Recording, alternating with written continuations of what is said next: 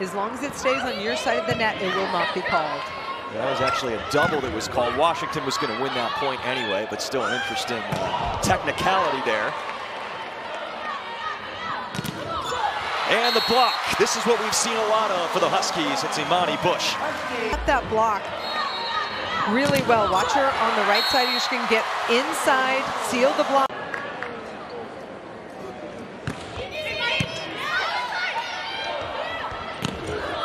Freshman middle Brecken Sheck with a swing on the slide for Washington State. Now Bush. Jaden Walls had the dig there. And the right side block again. For Washington with the biggest block, you want to work other areas of the court, maybe attack more in the middle, but you have to dig forward in order to do that. Think that sounds like a good idea, avoiding the six foot five Katie Ryan, but there's a kill for Hunt. Yeah, it's fun to see a dynamic young middle get some kills out of the middle by driving hard, making her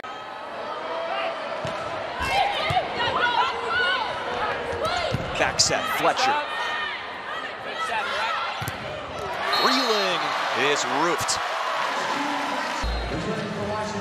Transfer from South Carolina, physical defensive player as well as attacker.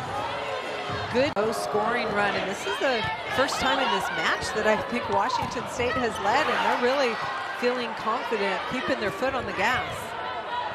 In transition, an opportunity for the Huskies. Hunt. Middle in transition. Watch this ball, quick set, sharp angle. We saw her defensive presence at the net early, just hasn't had a ton of kills so far tonight. There's the Buffs Classic. Washington going to Colorado, their former conference rival. Speaking of former conference rivals, here playing Washington State, and they had to come back twice in a row on comebacks against power conference foes, beating Georgia and then Colorado. Well, Ensley wanted the huge run to end last set, so they figured just throw her back out behind the service line again to start the fourth. Hunts another big time boom. Washington went right back to Maddie Ensley from the back line. Washington, good first contact. Now finally getting back to full form. Definitely. That's a tough injury to come back from. Just completely nothing she could control there. Had a player come under the net out it and just really upset on multiple levels. This is the middle Hunt. attack that we were talking about. Julia Hunt coming out of the solid block from Washington State. Will this be it? Yes, it will.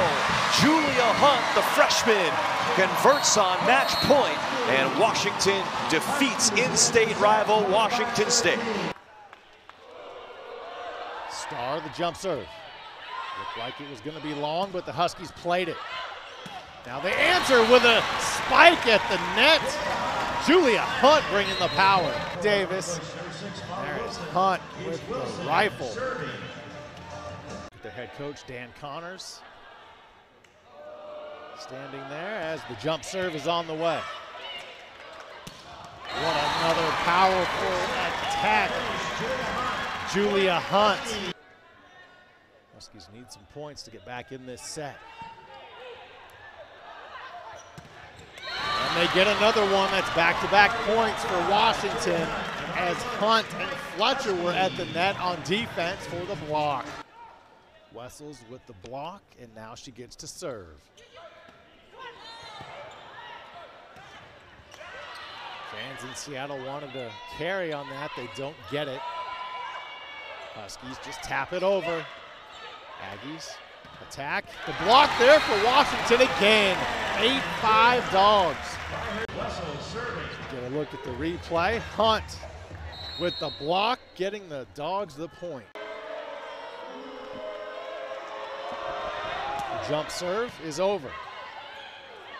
Huskies attack with authority. Julia Hunt gets the point for the dogs. See Hunt, middle of your screen, finding the corner of the floor. 21-19. One point game now here in the third set, 10-9. The jump serve from Morrison. And the Huskies bring the power. bringing the power right there. Nothing the Aggies could do about it. She can do so right now. Great awareness at the net for Hunt. You see Hunt take advantage. Wessels, the jump serve. Good block there by Washington. Aggies handle it. Huskies another opportunity, and they attack where nobody is. 13-7 dogs. Hunt in the middle, doing great things for Washington. McKenna Morrison ready to serve for the Aggies. They're trailing by three. Huge toss on the serve. Huskies at the net. Aggies have to get it over from there, and they do. What an attack from Julia Hunt. Huskies 22, Aggies 18.